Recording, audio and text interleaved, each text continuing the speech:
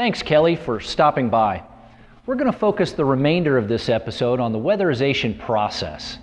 Kelly mentioned the flow of money from the federal level to the states, onto the local agencies, and finally into the homes of clients. Now let's take a more detailed look at the steps involved. To date, about 6.2 million homes have been weatherized under the program, but there are millions of families out there who still need assistance. Getting the word out to these folks is the first step in the weatherization process. On the federal, state, and local levels, groups are getting the word out with billboards, TV, and radio ads.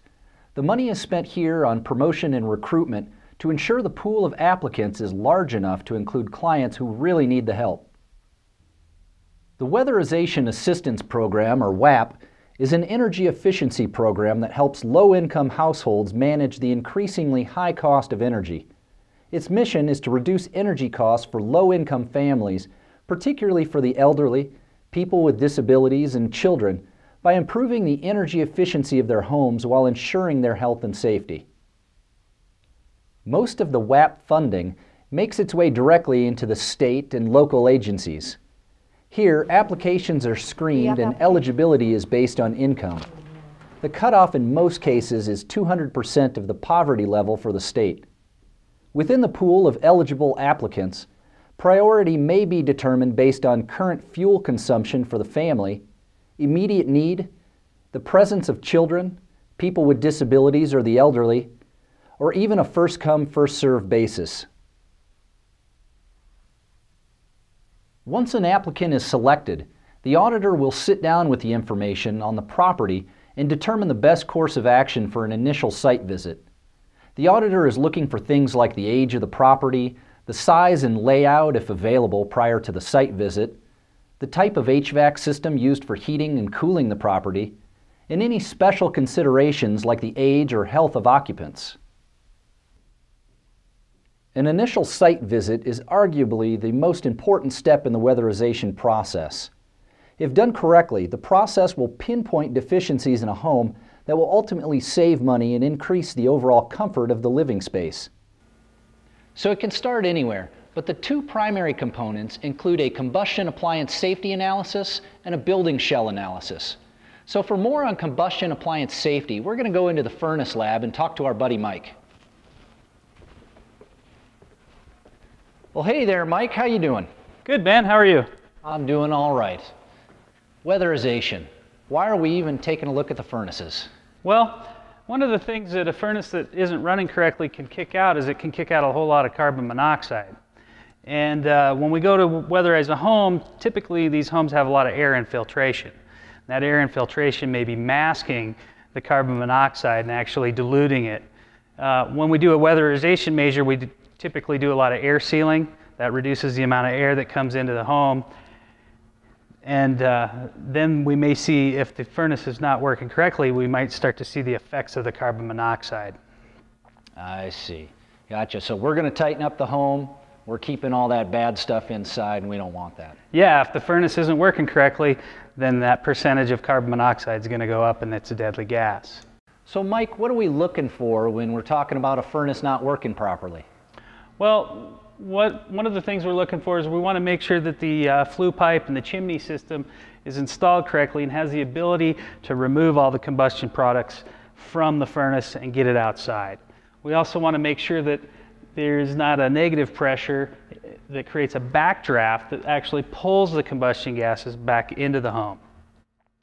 We also uh, measure the uh, amount of carbon monoxide that the furnace puts out. It should be below a certain threshold that tells us that it's burning the fuel and the oxygen correctly.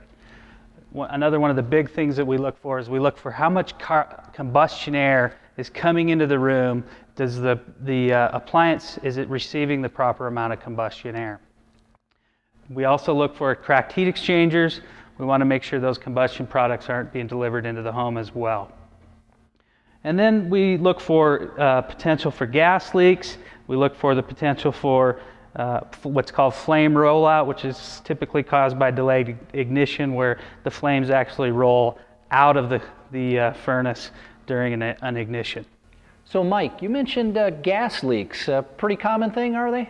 Uh, you know, they're not real common, but uh, if we find them, we want to make sure we get them taken care of. The uh, utility company puts a scent in the gas. A lot of times the homeowner would smell that, although they may not recognize it, and so if we come across it, we're going to fix it. More importantly, probably, is there may be CO gas, carbon monoxide gas. That's colorless, it's odorless. The homeowner wouldn't even know that it's in their house. They, there's no way for them to even determine that it's there unless they have a CO detector. Uh, just to give you an idea how dangerous this gas is, 0.04%, not 4%, but 0.04% is equivalent to 400 parts per million CO. And then within three hours, that would cause death. So it takes a very little bit, little amount of CO to get into your, uh, into your living area, and you can um, become poisoned, and it can even cause death. Not a good thing. So every homeowner needs one of these babies attached to their furnace, huh, Mike? No, this normally wouldn't be attached to the furnace. This is one of the tools we use to determine how much carbon monoxide this furnace is kicking right. out. We use it to measure how well this flue pipe is drafting. And we also can get the combustion analysis and determine how efficient this furnace is operating. So if not one of these, what does a homeowner use? Uh, they use a carbon monoxide detector. We recommend that all homeowners have a carbon monoxide detector in their home. Just the kind that plugs into the wall? Yep, yep. All right, well, good deal. Well, we sure appreciate you taking us through the, uh, the ABCs of combustion safety and uh, hope to see you again back here at uh, WXTV. Sure, you bet. Thanks, Mike. You're welcome. The building shell analysis typically starts with a blower door test.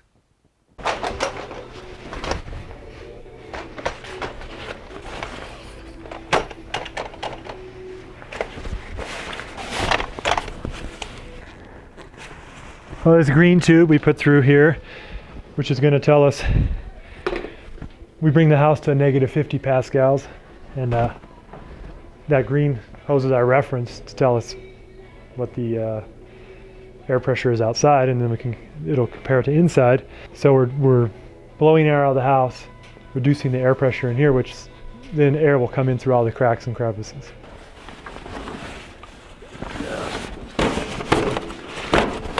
No, we will oftentimes, if you find enough big leaks, and depending on what you're starting out with, you'll know, okay, if we fix those leaks, we're to have a pretty tight house. So we don't really need, we don't really need to go around and caulk all the baseboard and all that stuff, which isn't to add up to a whole lot. But if you have like, uh, you're getting down towards the minimum, say, but you can't find anything big, there's just nothing really big and juicy you can just clog up then you start going after those little bunch of little stuff. We've been making houses pretty tight. Uh, even just the insulation you put in a mobile, like if you can insulate all around in a mobile, oh, yeah. you can drop the air down three, 400 CFM just doing that. And you got to be careful when you already have a tight house. And you don't want to, you know, over tighten with, without, you know, without calling out any infiltration to do, right. you're going to make the house too tight house up to negative 50 pascals. Every house you try to bring it up to that. And the fan will have to work at a different rate to in order to achieve that negative 50. Um, so tight house, the fan will just whisper, barely be moving. Big old farmhouse, it'll be, you won't even get it up to 50. You'll have to use a multiplying factor in order to, to get your